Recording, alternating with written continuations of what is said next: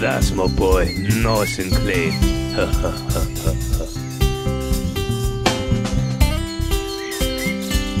there you are, Chip. Now soak up in some of the good sunshine there.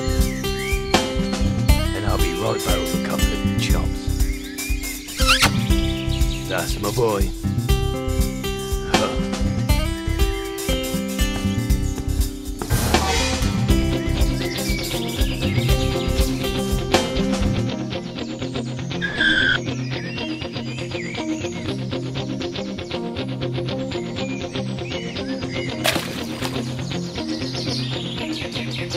Speak to me, son. Say something. What's your idea messing up my boy? Go clean him up.